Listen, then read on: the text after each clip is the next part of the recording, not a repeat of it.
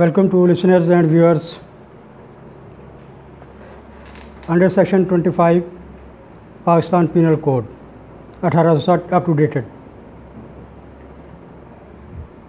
Under Section 25 fraudulently a person is said to do a thing fraudulently if he does that thing with intention to defraud but not otherwise. The intention with which an act is done is very important in determining whether the act is done dishonestly or fraudulently. Intention to deceit. Proof of intention is important. Court must be, have proof of facts sufficient to justify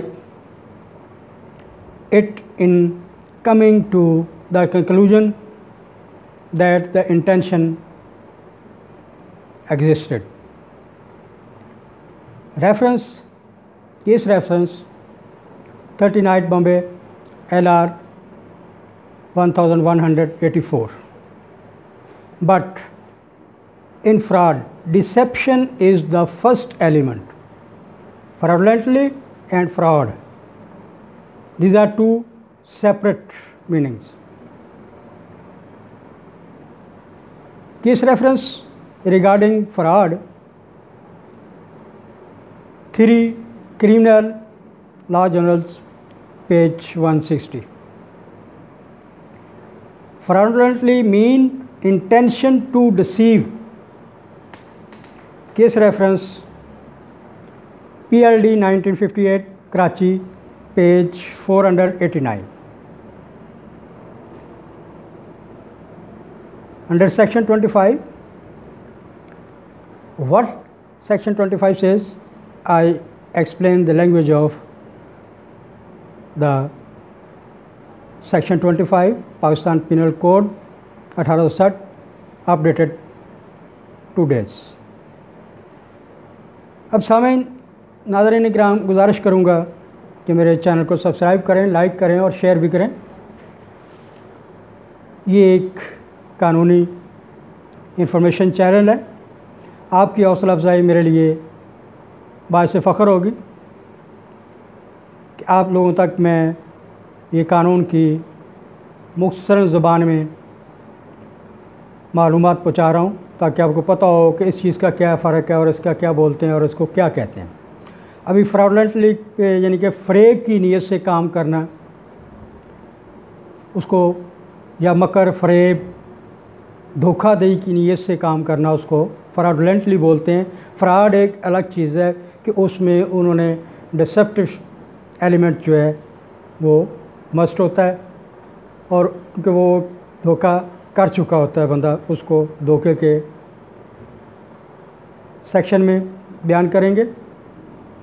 अब यहाँ पे 25 जो section है, दफ़ा 25 पाकिस्तान ताज़ीरात पाकिस्तान, उसके तहत इसकी तारीफ़ बयान की है मैंने कि जब एक बंदा फ्रॉड की नीयत से, धोखाधड़ी की नीयत से, मकर फ़रेब से किसी को नुकसान पहुंचाता है उसकी बिज़नेस को, कारोबार को, उसको प्रॉपर्टी को या उसकी ज़ात को, जिसको हम डेफामेशन भी बोलते हैं, यानी किसी की ज़ात को नुकसान पहुंचाना उसकी साख को। तो यहाँ फ्रॉडलेंटली है कि उसमें नीयत देखी जाएगी कि इसकी नीयत क्या थी। फ्रॉड में भी देखते हैं नीयत का एलिमेंट, मगर इसमें फ्रॉडलेंटली एक प्रोसेस है। अभी उसने पूरा कंप्लीट, उसका एग्जीक्यूट नियर टू एग्जीक्यूशन कह सकते हैं आप उसको, कि एक बंदा काम करता है, उसकी नीयत ही मकर फ़रेब की है।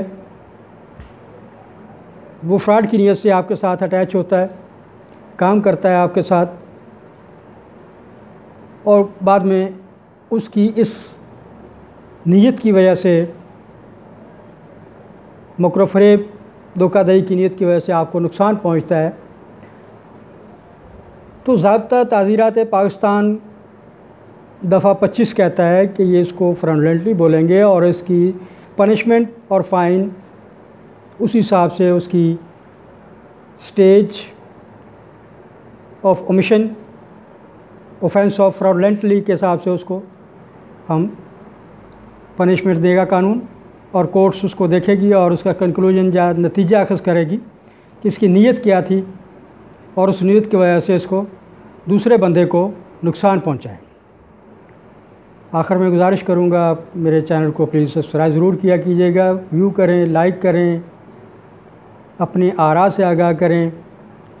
बहुत बहुत शुक्रिया। Thank you very much